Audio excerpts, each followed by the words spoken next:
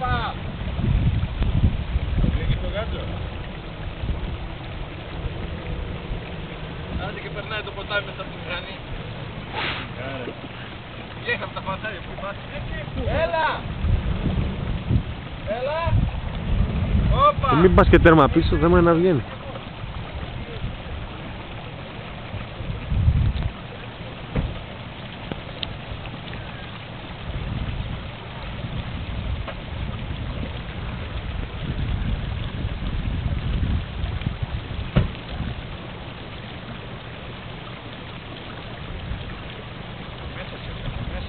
Μέσα στην πόλη.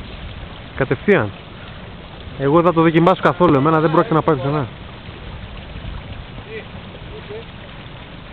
Έλα. Είναι βαστή. Δύσκολο το αστούρα.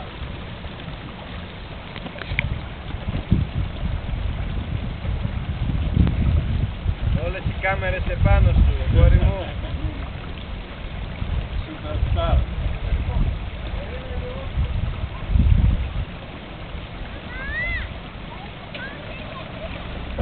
Τα τζάμια κλείσε.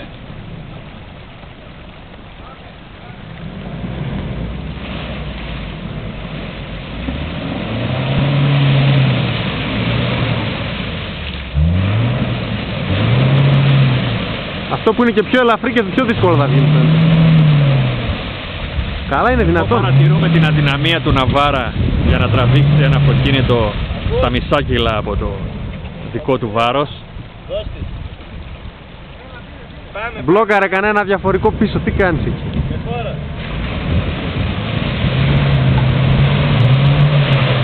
Έλα δώσε. Αυτό ήταν.